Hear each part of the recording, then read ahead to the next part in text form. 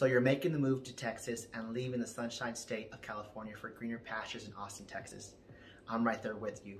As a California native, I grew up near Los Angeles around San Gabriel Valley. I was stationed in San Diego when I was in the Marines and did a motorcycle road trip on California's coast-hugging Highway 1.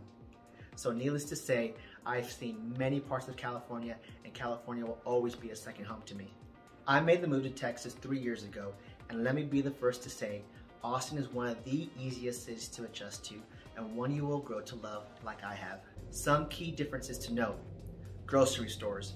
HEB replaces stores like Vons, Ralph's, and Albertsons. Don't worry, you still have stores like Sprouts, Whole Foods, and Aldi, although they are far and fewer in between.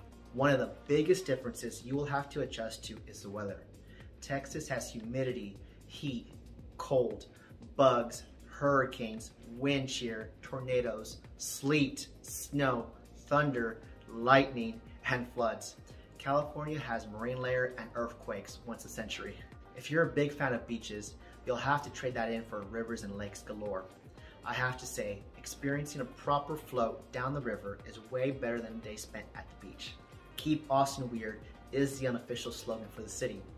Austin is one of the more liberal cities compared to the rest of the state where political views differ greatly. You will find Austin to be a welcoming city with plenty to do and even more to eat.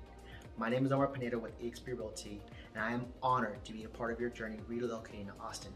I will be here to help you save time and heartache that is typical when making such a big move.